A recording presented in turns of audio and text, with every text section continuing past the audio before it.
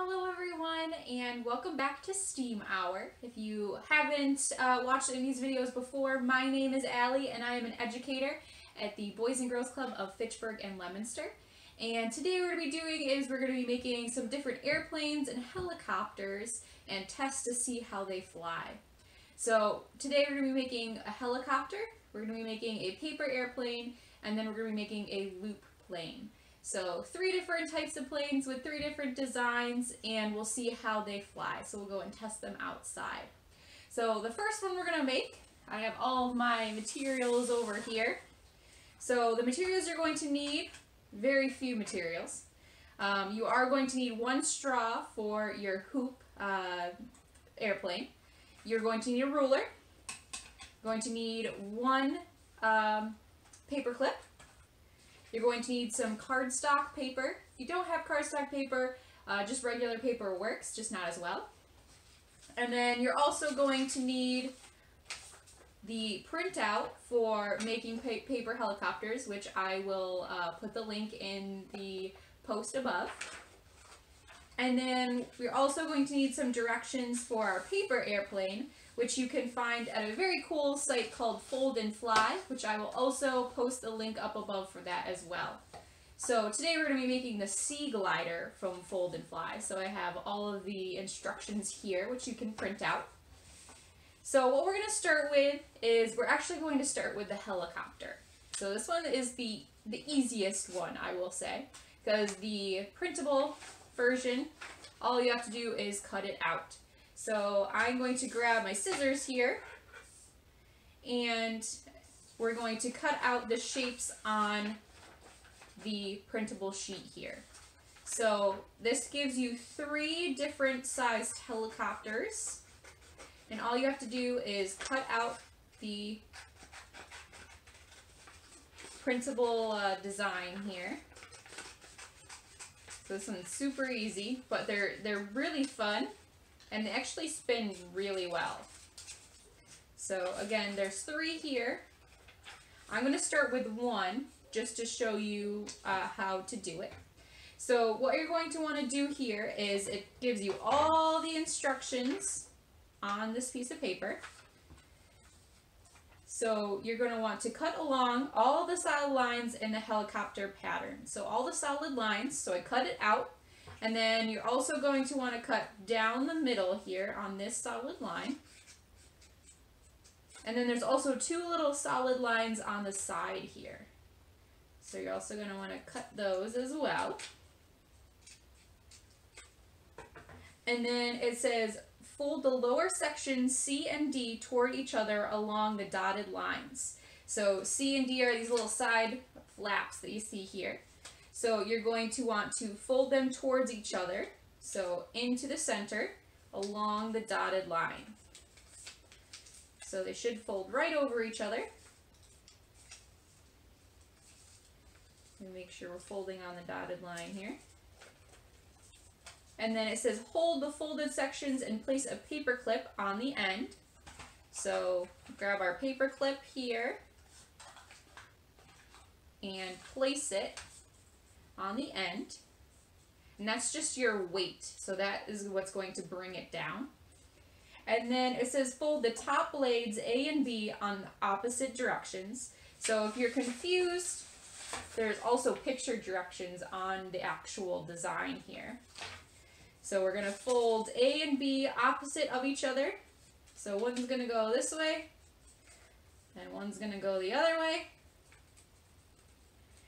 And then it says hold the helicopter high above your head and it should spin. So when you hold it up high over your head and release it, it should spin down to the ground. Kind of like what they call helicopter seeds, um, which are seeds from a tree. Um, they're actually from a maple tree, so they're maple seeds. Um, but we'll test this out with the rest of them. So I'm going to leave this design up here. And again, there are three on this page, so you can always have uh, three of them to test out.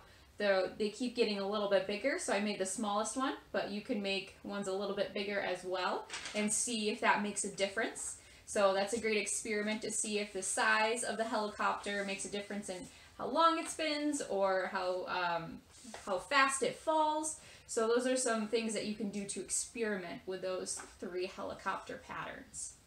So that's our helicopter, and again, I will uh, link it up in the description above uh, so you can download that helicopter pattern and print it out. But that's a super easy one, and they're really, really fun. They spin, and they're really cool. Okay, so now we've made our helicopter, we're going to go into our paper airplane. So you just need a sheet of paper for this. And I have printed out the instructions for the Sea Glider right here. And you can do that on the website called Fold and Fly. I'm going to link that up above so that you can uh, look at the website. They have tons of paper airplanes to try out. But today we're just going to try the what's called the Sea Glider. It's on the medium level, so hopefully it won't be too hard.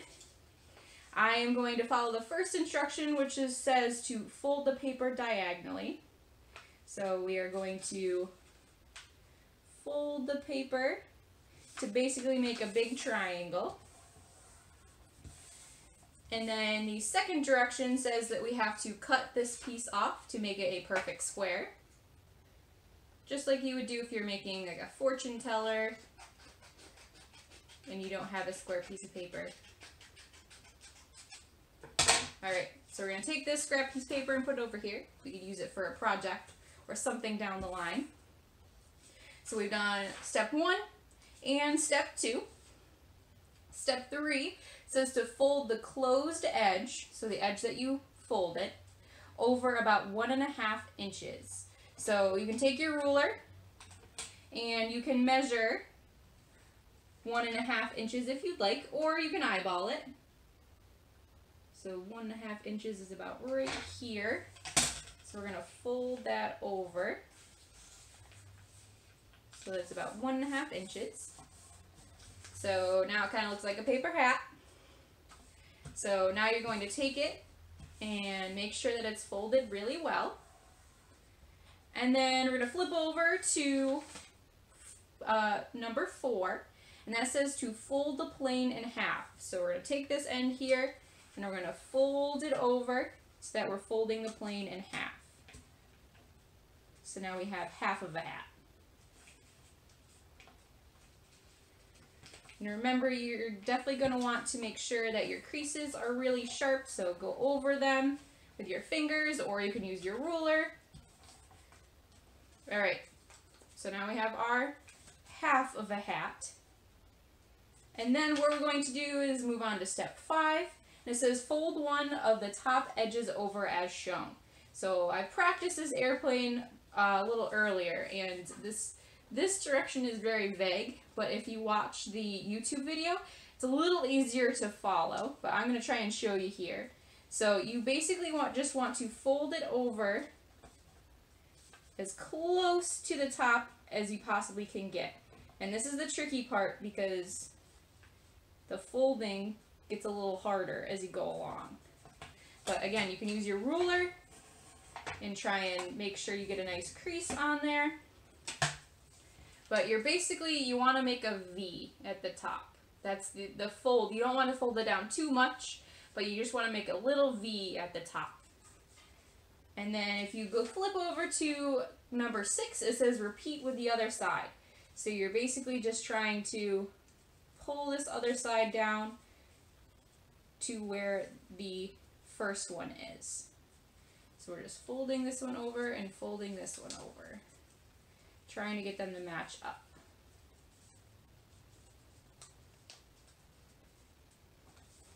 And then you want to make sure that you crease it fairly well.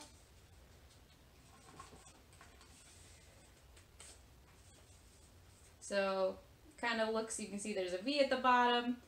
If you flip it over like this, it kind of looks like a little sailboat. So now we're going to do is go to number seven. And it says now fold out one side to create the wing. Again, this was a really vague instruction and the picture doesn't help a ton. But basically you want to bring the wing out to where your point is on your airplane here.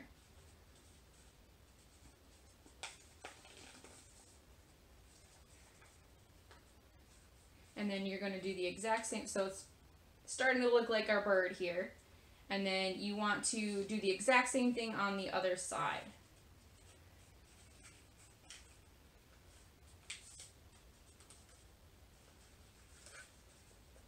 And then when you fold it here and the final fold is done, you have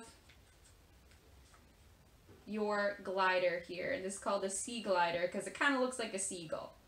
So that's our finished product.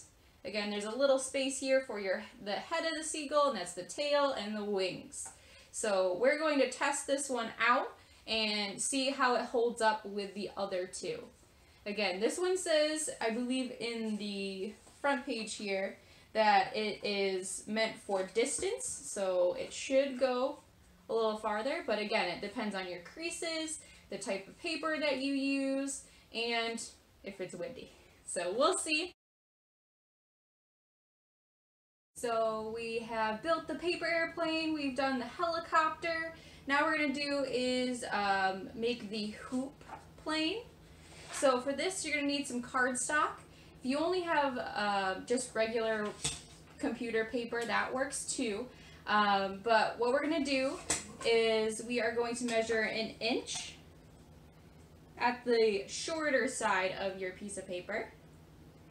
And we are going to, you can either make a little line there, I'm just going to make a little cut here. And then you're going to do the exact same thing over again.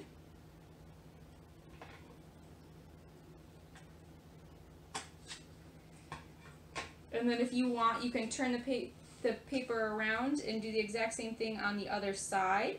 And then draw a line so it's straight.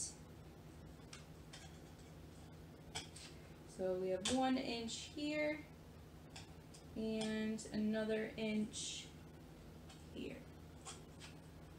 So now what I'm going to do is just cut down the line here. And again, if you want to use the ruler to make a straight line down that you can follow, that works as well. So then we're going to cut this one in half.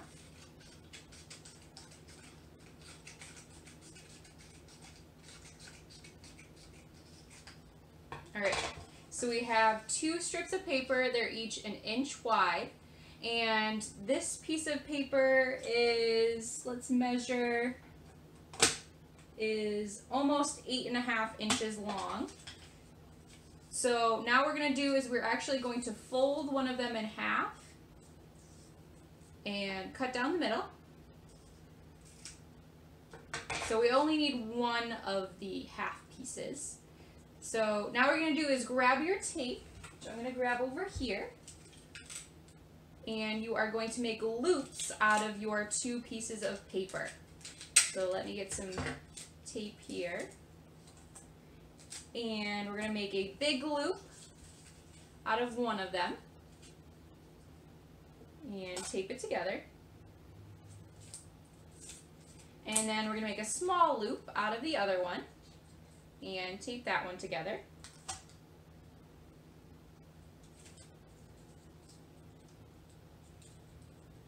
And then this is where you're going to need your straw. So you're going to grab your straw and you're going to tape one, the big loop on this end, and then the small loop on the other end, both facing the same way. So I'm going to grab another piece of tape here.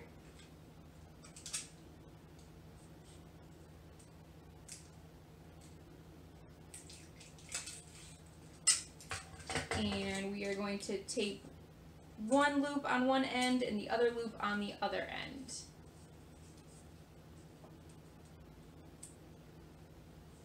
We're just going to place the tape in here on this one. Oops, got a little crooked here.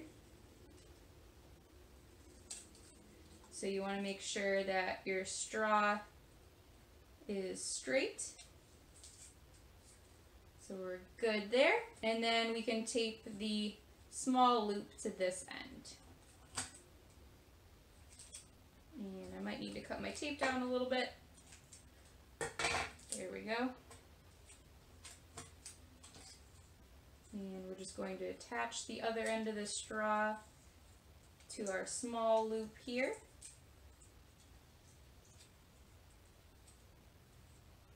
And we have our hoop plane. So we have our hoop plane, we have our helicopter, and then we also have our paper airplane. So now it's time to test them out.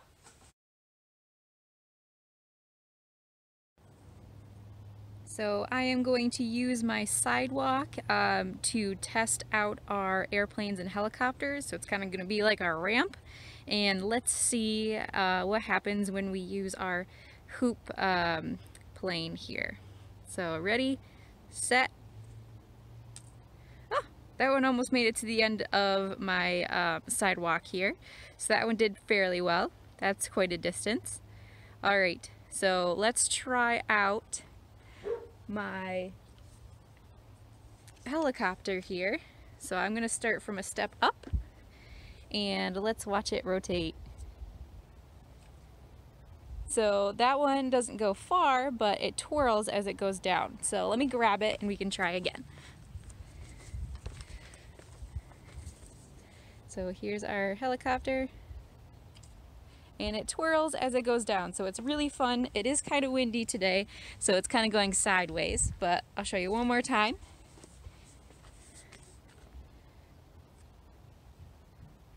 So it's pretty cool. It spins while it goes down. Um, so there's our helicopter, and I will uh, post that uh, pattern when um, we post the Facebook video. And then we have our glider here. So let's see how far our plane will fly. Again, it is a little windy today, but let's see. So that one did not go straight, but that's okay. Um, so it went about, if you look, about halfway. So our hoop definitely won in that instance. But if you look up some other patterns, you might be able to um, get one that goes a little farther. Um, but let's try one more time so you can get to go farther. All right, one last time with our sea glider here. We'll see if we can get it to go any farther. Not quite. so it is very windy today, so that might be a reason why we're having a little trouble. Um, I may have not uh, done some correct folds here as well, but it was a good try. So again, I will post the fold and fly um, link so that you can make your own and there are tons of different ones that you can make on your own as well.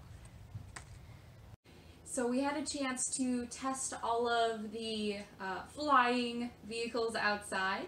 So we did the hoop plane, which went fairly far, went almost to the end of my sidewalk. Um, so you can definitely experiment with that, making the hoops a little bit bigger or smaller um, and see how far they go. And then the helicopter is just really cool because it spins as it goes to the ground. Um, so again, you can experiment with the larger versus the smaller helicopter on that pattern and see which one spins faster or falls faster. Um, you can do your own little experiments with that one. Um, and then the last one was our sea glider. That one didn't go very far. Uh, but again, it might be because it's windy and I did make it with computer paper so it's a little lighter so the wind carries it. Um, but there are so many different airplane designs on that website. And the website includes um, directions. It also includes a printable um, template as well. And it also has YouTube videos that you can follow along with if you're having trouble with the folds. I know personally I was having a little trouble folding the Sea Glider. So that one was on medium, but they have easy, medium, hard, and expert. So as you go along, you can always go up a couple levels if you're um, finding it's too easy or you want to challenge yourself. So that's a great way to um, do a little experiment. You can uh, make a bunch of them and see how far they go, or um, if they're aer aerobatic, if they um, kind of do spins or turns as they go through the air. Um, so usually on the website as well, they'll tell you what type of uh, flyer they are. So if they are made for distance, if they're supposed to be um, acrobatic, uh, all those different things. So have fun with that. I challenge you to make a couple of those on the website. Um, all you need is a white piece of paper and possibly some scissors. So that's a super easy uh, STEM challenge um, that you can do and uh, it involves just a piece of paper. So uh, have fun with that one. Uh, tons of different designs and I will uh, link the uh, website up above as well. So I hope you had fun today for STEAM Hour. Um, we made a bunch of different flying objects, uh, which was really fun. And also remember to comment down below with ideas for the next STEAM Hour. I'd like to know what experiments or projects you would like to do. Also comment down below with pictures of either your paper airplane, your helicopters, or your hoop plane. I'd love to see um, the projects that you've made. And also comment down below with um, what was the farthest one you made. So the uh, title of the airplane or did your hoop plane go really far? Um, let me know in the comments down below.